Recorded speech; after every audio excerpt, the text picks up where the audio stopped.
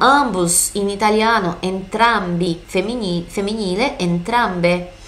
Mimar, dar carinho para alguém, né? A ação de mimar, de dar carinho, é coccolare. Até no sentido de perfino, persino, até a domani e até quando, anche mentre ou anche quando, ok?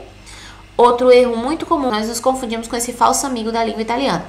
A gente diz andare no sentido de andar do português, quando andar do português, caminhar, em italiano é camminare, porque o verbo andare é ir.